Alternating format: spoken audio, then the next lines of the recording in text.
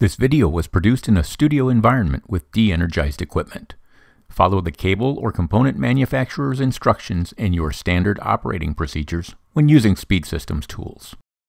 This presentation demonstrates the steps necessary to pull loadbreak elbows and caps using Speed Systems elbow and cap pulling tools. Speed Systems makes two versions of the elbow and cap pulling tool.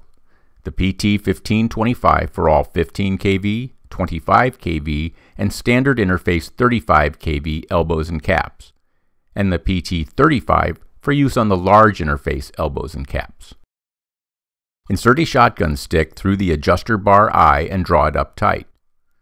Slide the assembly over the elbow or cap until the clear tube touches the bushing clamp or appropriate component.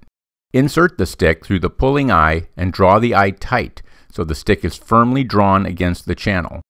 While keeping the shotgun stick in line with the elbow or cap, use a slow, steady pull on the rope until you see, hear, or feel the elbow or cap release.